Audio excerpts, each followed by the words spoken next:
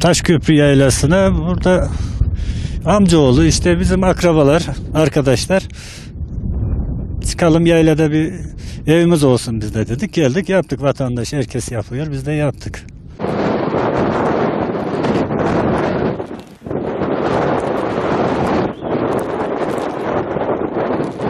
Şimdi bu yayla otla merayı biz bozmayalım diye geldik burada yarın içine yarı keserek işte e, hayvanların otlak alanına müdahale etmeyelim diye öyle daha küçük çapta düşündük. Daha sonra işte kendimiz şekillendirerek doğaya da uysun.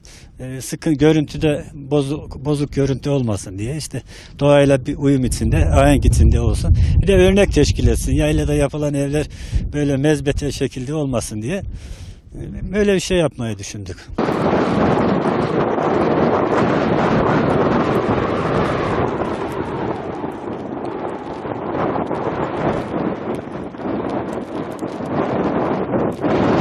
Eşim Avrupa'ya gitmişti, gezdi orada.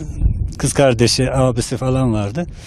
Orada görmüş böyle şeyler. İşte bu bize de böyle ev yapalım yaylada diye şeyde buldu.